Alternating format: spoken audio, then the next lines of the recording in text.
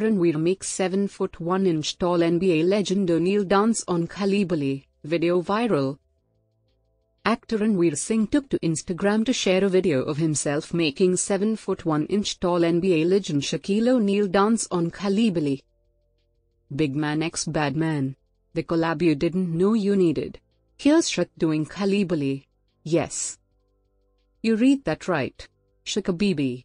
Ranveer wrote. Actor Varun Dhawan commented, The Shaq attack.